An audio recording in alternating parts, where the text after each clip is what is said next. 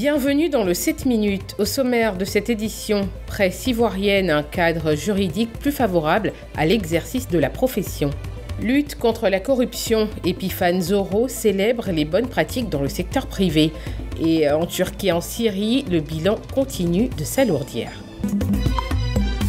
Le législateur ivoirien a voulu mieux encadrer et clarifier la pratique et l'environnement de la presse papier et numérique, ainsi que la diffusion de contenu sur Internet. Une nouvelle loi sur la presse et la communication audiovisuelle a été adoptée en décembre 2022 en révision de celle de 2017. Le 7 février dernier, au cours de la Lucarne Tout savoir sur rendez-vous hebdomadaire d'information sur les actions et les décisions du gouvernement, Geneviève Edvigiao, sous-directrice du contentieux, au sein de l'autorité nationale de la presse, a expliqué les enjeux de la nouvelle loi sur la presse. La loi sur la presse et ses huit décrets d'application régissent le cadre juridique et institutionnel de la presse en Côte d'Ivoire.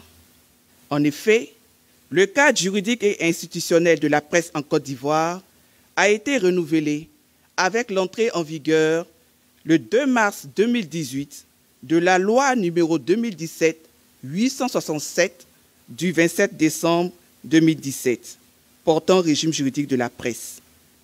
Cette loi crée ainsi un cadre juridique encore plus favorable à l'exercice de la profession. Selon la sous-directrice du contentieux de l'ANP, ce nouveau régime juridique de la presse vise à prendre en compte l'entièreté des productions d'information numérique qui ne cessent de se diversifier et d'utiliser de nouveaux modes de collecte et de diffusion de l'information qui échappaient jusque-là au contrôle de l'organe de régulation.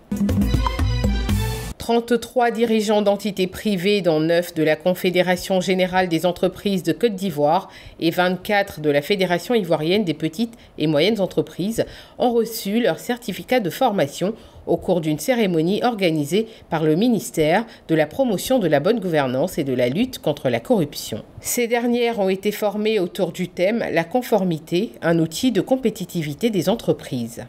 Nous sommes là ce matin pour euh, célébrer euh, les dispositifs de lutte contre la corruption dans le secteur euh, privé.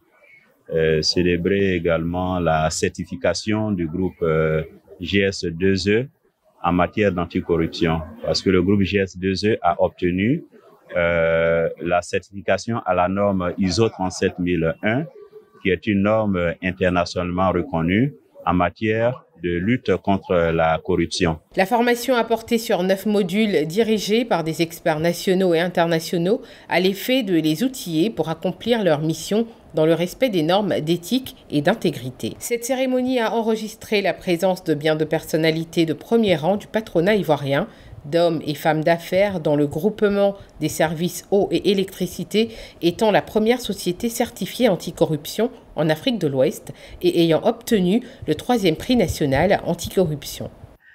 Euh, par la reconnaissance qui est faite euh, par, le, par le ministre de la bonne gouvernance, euh, des actions que nous avons pu mener au sein de notre entreprise pour renforcer la bonne gouvernance et la lutte contre la corruption. C'est une initiative que nous avons prise qui est aujourd'hui appuyée par le renforcement du cadre réglementaire.